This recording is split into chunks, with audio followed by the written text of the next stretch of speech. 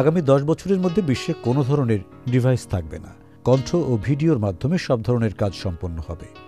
লিখিত শব্দের সংস্কৃতি একেবারেই উঠে যাবে।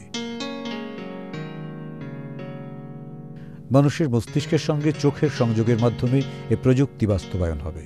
ফলে মানুষের জীবনে প্রযুক্তির ব্যবহার আরও অনেক সহজ হয়ে উঠবে, এমনটাই মনে করেন প্রযুক্তিবিদরা। বিশ্বের শীর্ষস্থানীয় সার্চ ইঞ্জিন গুগলের দক্ষিণ পূর্ব এশিয়ার কৌশলগত অংশীদার বিভাগের প্রধান সার্জিও সালভাদোর এদেরই একজন তার মতে, দশ বছরের মধ্যে স্মার্টফোনের বিদায় ঘণ্টা বাজবে ইসলামী ব্যাংক, সুখবর প্রতিদিন।